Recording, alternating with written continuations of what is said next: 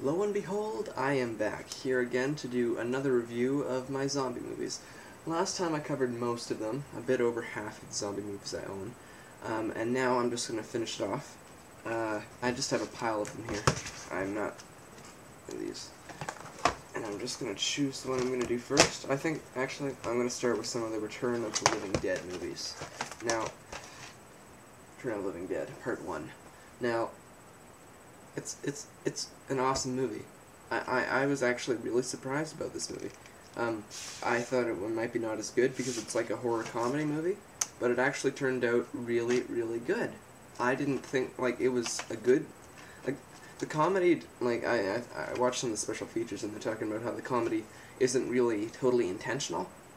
A comedy sort of comes out of stuff that wouldn't necessarily be funny to the uh, characters in the situations that they're in in the movie, but they are funny to the viewer just because you know like they're freaking out and stuff, and it's funny because you know it would never happen, but it's it's a, it's interesting to sort of see their reactions.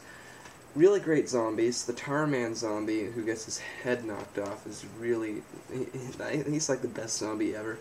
Um, the characters are really funny, like the punk guys. I really like the music in this one. Music by 45 Grave, I think it was. 45 Grave is an awesome band.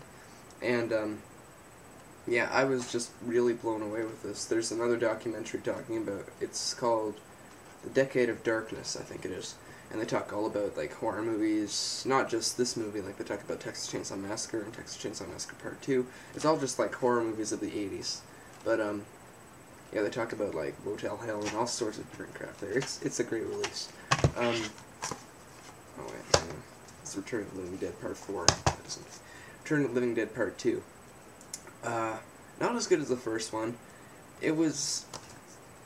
It was funny because it really seemed like they were just sort of trying to do the same movie over again.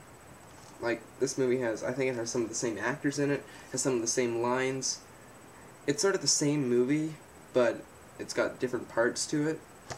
It's um, it's it's got some new cast members too, like some little like it's more of a it's sort of funny because I think it's rated 18A or something, but it, it's sort of like it's almost shot like it's a kids movie in a way, like there's a lot of kids in the movie. And it's sort of it's strange that way, but it's still a lot of fun to watch. I really like the cover too. It's a great cover. Getting some flair off of it, but it's a great cover. Yeah, great movie. Okay, now we go for this. Return of Living Dead, Necropolis. Doesn't really count in the Return of Living Dead series, in my opinion. It's sort of like the um, final one, Rave to the Grave or something. Um, it's not done by the same people. It's not really a horror comedy. It wasn't as good as the other ones. I, I don't think you can really do Return of the Living Dead in our time frame. I don't think it's a good idea to even attempt to do the Return of the Living Dead movies in our time frame. The Return of the Living Dead movies, they're they're 80s, like 80s, early 90s, but 2000. It doesn't work for Return of the Living Dead. It's not like the culture has changed too much for like you know the humor to work and the good that's why like it just old culture is way better like eight like 60s through to the early 90s that was the golden age like maybe even some of the 50s but from now on it just seems like the time frame we're living in really sucks and that's these just movies aren't movies aren't as good now. I'm really upset about that it's just I I know people will be looking back at the movies of this. Well, I'm hoping that people will at least some people will be able to look back at this time frame of movies and say, "Wow, well, those movies are really cool." Like I look back at the '80s movies that way, but um, yeah, it's just I'm I'm not I'm not happy. I'm not, I'm not happy. The movies now just they're all Hollywood corporate. There's a lot of low budget stuff coming out, but it doesn't get good distribution. There's very little low budget movie distribution, and like it's it's sort of a good movie, but overall it's just I'm not pleased with this. I, I don't think they should continue the Return of the Living Dead movies up into the 2000s. Like it's it's the same. It's just sort of a rehash.